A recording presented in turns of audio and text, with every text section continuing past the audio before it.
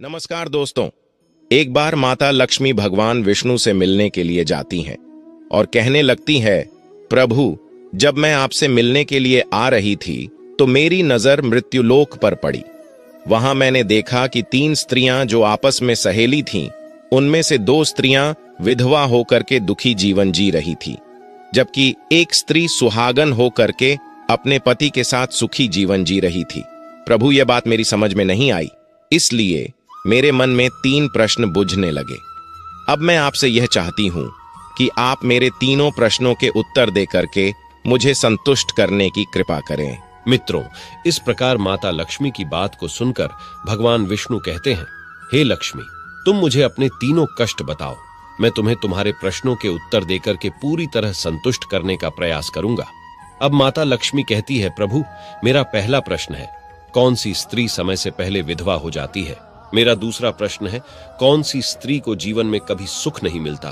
और मेरा तीसरा प्रश्न है, कौन सी चीज़ ऐसी है जो एक पत्नी अपने पति को मांगने से भी नहीं देती? मित्रों, इस प्रकार माता लक्ष्मी के प्रश्नों को सुनकर के भगवान विष्णु कहने लगे, तुम जिन स्त्रियाँ की बात कर रही हो, उनमें से दो स्त्रियाँ विधवा होकर अपना दुखी जीवन जी रही हैं, और वहीं पर एक स्त्री सुहागन होकर के अपने पति के साथ में अपना सुखी जीवन जी रही है।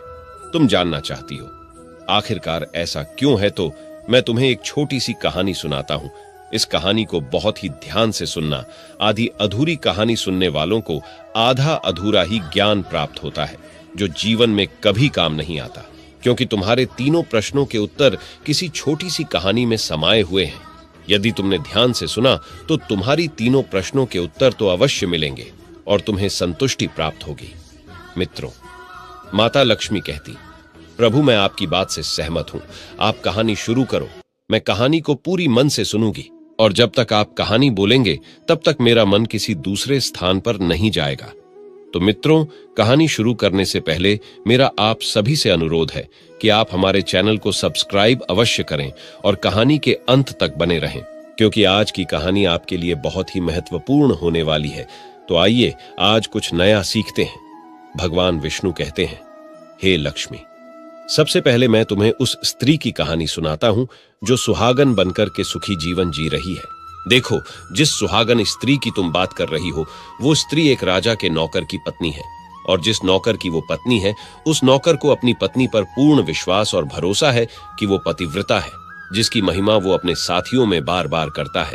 अब देखो, एक दिन की बात है। उस राजा के नौकर ने अपनी पत्नी की प्रशंसा इतनी की की बात धीरे धीरे फैलते हुए राजा के दरबार तक पहुँच गई।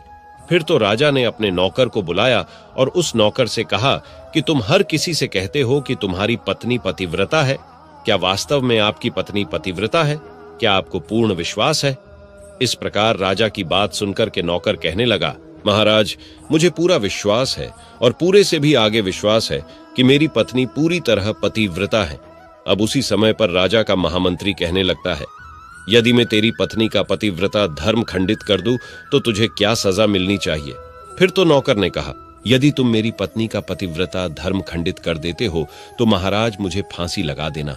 अब उधर वो राजा का नौकर भी मंत्री से कहता है, यदि महाराज यह मेरी पत्नी का पत्नीव्रता धर्म खंडित नहीं कर पाए तो इनको सजा क्या मिलनी चाहिए? तो राजा ने कहा कि मंत्री को भी फांसी की सजा दी जाएगी। फिर भगवान विष्णु कहते, हे लक्ष्मी मंत्री ने स्वीकार कर लिया और नौकर से पूछा कि क्या वस्तु लाऊं, जिससे तू माने कि मैं तेरी पत्नी का धर्म खंडित करने में सफल हुआ? तो नौकर ने कहा, मंत्री, यदि तुम मेरे घर से जाकर के मेरे विवाह के समय पर मुझे एक पटका मिला था और एक कतार मिली थी, वो मेरी पत्नी ने बहुत ही संभाल कर रखी है, जो सुहाग की निशानी मानी जाती है। यदि तू पटका और कटार लाकर मुझे दिखा दे तो मैं मान जाऊँगा कि मेरी पत्नी का धर्म तूने पूरी तरह नष्ट कर दिया है। अब शर्त स्वीकार हो जाने के बाद में वो मंत्री शहर में जाता है और एक दुती से जाकर मिलता है।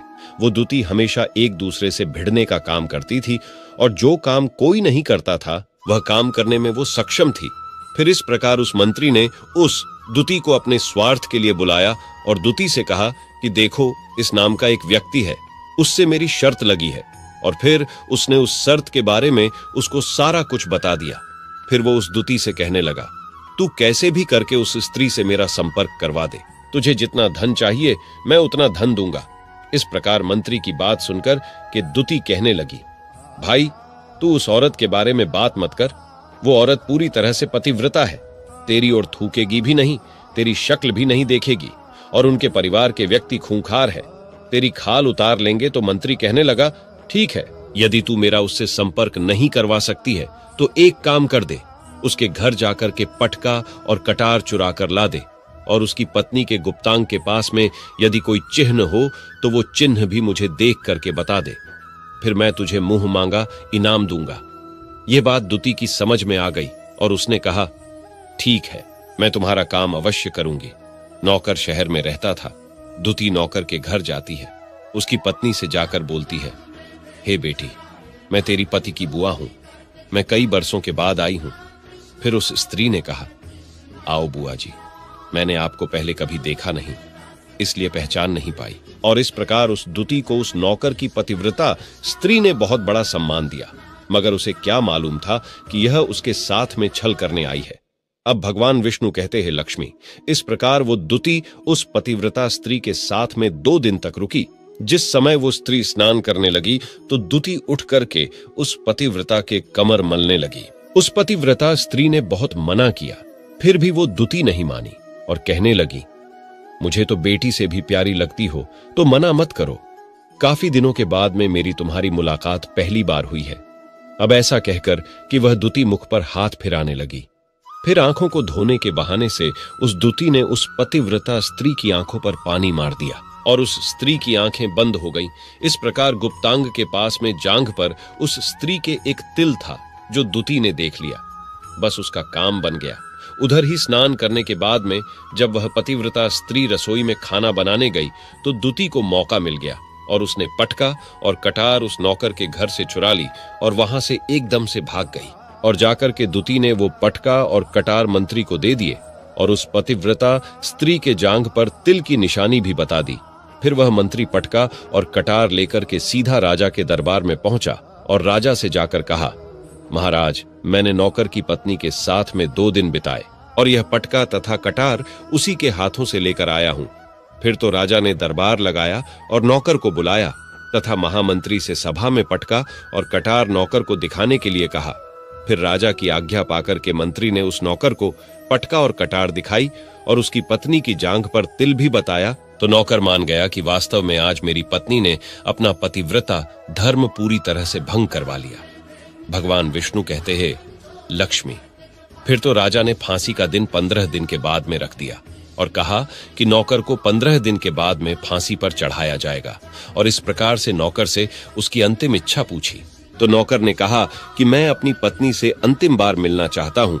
इस प्रकार राजा ने उस नौकर को आज्ञा दी कि ठीक है, तुम अपनी पत्नी से मिल सकते हो।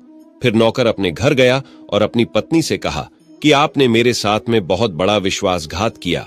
मैंने आपके विश्वास पर मंत्री से ऐसी शर्त लगाई थी कि राजा के दरबार में राजा के सामने मैंने कहा था कि मेरी पत्नी का पतिव्रता धर्म कोई नष्ट कर दे तो मुझे फांसी लगा देना। अब मुझे पंद्रह दिन के बाद में फांसी लगा दी जाएगी। मेरे साथ विश्वासघात करके तुमने ठीक नहीं किया। उस पतिव्रता स्त्री ने अपने पति को सारी बात बताई, मगर उसे विश्वास नहीं हुआ और वह राजा के दरबार में पहुँच गया। फिर नौकर राजा के दरबार में पहुँचा तो फिर उसे कैद में डलवा दिया गया। अब उधर नौकर की पतिव्रता धर्म पत्नी ने परमात्मा को याद किया और अपना भेष बदल करके राजा के दरबार में गई और राजा से नाच दिखाने की आज्ञा मांगने लगी, क्योंकि वो स्त्री बहुत ही सुंदर थी और उधर राजा शौकीन होते हैं। इसलिए राजा ने आज्ञा दे दी कि सभी मंत्री संतरी आदि उपस्थित होकर के इस सुंदरी का नाच करवाने की पूरी व्यवस्था करें। भगवान विष्णु कहते हैं, लक्ष्मी फिर तो सब मंत्री महामंत्री राजा आदि दरबार में उपस्थित हुए। और फिर उस नौकर की धर्मपत्नी ने जब नाचना शुरू किया तो राजा को उस स्त्री का नाच बहुत ही सुंदर लगा। और फिर राजा ने कहा, तुम मुझसे क्या मांगना चाहती हो? तुम जो भी मांग मांगोगी, मैं तुम्हें वही दूँगा। फिर उस नौकर की पतिव्रता स्त्री ने कहा, महाराज, आपकी सभा में मेरा चोर है, जिसने मेरे रुपए लिए थे, मगर आज तक वापस नहीं दिए। उसे फांसी की सजा दे दीजिए। अब राजा ने कहा, ठीक है बताओ, मेरे दरबार में तुम्हारा चोर कौन है? उसका नाम क्या है? मैं उसको फांसी की सजा अवश्य दूँगा, भगवान विष्णु कहते। फिर उस नौकर की पतिव्रता, स्त्री ने कहा, महाराजा, आपका मंत्री मेरा चोर है, आप इनको फांसी की सजा अवश्य दे। अब उधर जैसे ही मंत्री ने सुना कि ये सुंदरी मुझे अपना चोर बता रही है तो मंत्री कहने लगा, महाराज, मैं कसम खाकर कहता हूँ कि मैंने इसका कभी कुछ नहीं चुराया है। मैंने इसे आज तक कभी देखा ही नहीं है। तो मैं चोरी कैसे कर सकता हूँ? मैंने आज तक इसकी शक्ल ही नहीं देखी है। अब भगवान विष्णु कहते हैं, लक्ष्मी, जैसे ही मंत्री ने कहा कि मैंने इस सुंदरी की आज तक शक्ल ही नहीं देखी है तो वो सुंदरी कहने लगी, महाराज, ये मंत्री मुझे जानता नहीं है तो आप इससे ये पूछो कि ये पटका और कटार कहाँ से लाया था? मैं उस नौकर की पत्नी हूँ, जो आपके यहाँ पर नौकरी करता है, और आप मेरे निर्दोष पति को फांसी चढ़ाने वाले हैं। अब मैं आपको पूरी दस्ता सुनाती हूँ। ये जो आपका मंत्री है, इसने मेरे पास में अपनी एक दुती को भेज करके मेरी जांग के तिल का पता लगाया और उसी ने यह पटका और कटार चुराकर के इसको लाकर के दी और आपके मंत्री के द्वारा भेजी गई दुती जब मेरे घर पर आई थी तो उसने मुझसे कहा था कि वो मेरे पति की बुआ है और वह पहली बार आई है, इसीलिए मैं उसको पहचान नहीं सकी। और महाराज, जिस प्रकार मैंने उस स्त्री को अपने यहाँ पर बहुत बड़ा सम्मान दिया और अपने घर पर उसके ठहरने की व्यवस्था की और इस प्रकार उस नौकर की पतिव्रता स्त्री की बात को सुन करके राजा ने दुती को बुलाया, फिर उस दुती ने राजा को सारी सच्चाई बता दी, जिससे राजा ने उस नौकर को रिहा कर दिया और मंत्री को फंसी पर चढ़ा दिया। भगवान विष्णु कहते हैं, हे लक्ष्मी, इस प्रकार उस नौकर की पतिव्रता स्त्री ने अंत में राजा से कहा। महाराज मैं अपने पति से बहुत प्यार करती हूँ। मैं एक चरित्रवान स्त्री हूँ। कभी भी मैं अपने पति का नाम तक अपने मुँह से नहीं लेती। भगवान विष्णु कहते हैं, लक्ष्मी, मेरी कहानी पूरी होती है। अब तुम अपने तीनों प्रश्नों के उत्तर सुनो। तुम्हारा पहला प्रश्न था, कौन सी स्त्री समय से पहले विधवा हो जाती है? तो जो स्त्रियाँ अपने पति का नाम लेती हैं, वो समय से पहले विधवा हो जाती हैं, क्योंकि पति का नाम लेने से पति की उम्र कम हो जाती है। और समय से पहले ही उनके पति की मृत्यु हो जाती है। ऐसे स्त्रियाँ जो पति का नाम लेती है, समय से पहले ही विधवा होकर के एक दुखी जीवन जीती है। बस यही राज की बात है कि तुम जिन तीन सहेलियों की बातें कर रही थी, उनमें से दो विधवा थी और एक ये नौकर की पत्नी थी जो पतिव्रता स्त्री थी। ये पतिव्रता स्त्री कभी भी अपने पति का नाम मुँह से नहीं लेती थी। और उधर वो दो स्त्रियाँ जो विधवा होकर जीवन दुखी होकर जी रही है, वो हमेशा अपने पति का नाम लेकर ही बुलाती थी, जिसकी वजह से उनके पति की उम्र कम हुई और फिर वो दोनों स्त्रियाँ समय से पहले ही विधवा हो गईं और आज वो दुखी जीवन जी रही हैं, इसलिए कभी भी स्त्रियों को अपने पति का नाम अपने मुँह से नहीं लेना चाहिए। अब तुम्हारा दूसरा प्रश्न था, कौन सी स्त्री को जीवन में कभी सुख नहीं मिलता है? तो समझ लो जो स्त्रियाँ अपने पति के बिना अनुमति के किसी तीर्थ स्थान या उत्सव में जाती हैं, उनके जीवन में कभी सुख नहीं आता। ऐसी स्त्रियाँ जीवन पर दुखी रहती हैं और उन्हें पति का कभी प्रेम नहीं मिलता। भगवान विष्णु कहते हैं, लक्ष्मी, तुम्हारा तीसरा प्रश्न था कि ऐसी कौन सी चीज़ है जो एक पत्नी अपने पति को मांगने से भी नहीं देती तो समझ लो वह चीज़ गाली है। एक चरित्रवान स्त्री कभी अपने पति को गाली नहीं दे सकती। और जो जो स्त्री गाली देती है, वो स्त्री कभी चरित्रवान नहीं होती। और ऐसी स्त्री जीवन भर रोती है, उसके जीवन में कभी सुखी नहीं आती। और समय से पहले ही ऐसे स्त्री विधवा हो जाती है। मित्रों, इस प्रकार कहानी सुनने के बाद में माता लक्ष्मी पूरी तरह से अपने तीनों प्रश्नों से संतुष्ट होकर कहती हैं, प्रभु, वास्तव में जो स्त्री चरित्रवान होती है, वो कभी दुखी जीवन नहीं जीती है, क्योंकि ऐसे घर में लक्ष्मी का सदा वास होता है। और वह घर धन धान्य से हमेशा भरपूर बना रहता है। ऐसी स्त्रियाँ हमेशा घर को स्वर्ग बना देती हैं। तो दोस्तों, यदि आपको ये वीडियो पसंद आई हो तो प्लीज़ आप हमारे चैनल को सब्सक्राइब अवश्य करें, वीडियो को लाइक करें। और दोस्तों, सच्ची श्रद्धा से कमेंट में ज़रूर लिखें, जय श्री राम, जय हनुमान। साथ ही देवों के देव, हर हर महादेव, सदैव आप पर अपनी कृपा बनाए रखे। प्रिय मित्रों वीडियो को अंत तक देखने के लिए धन्यवाद जय श्री राम।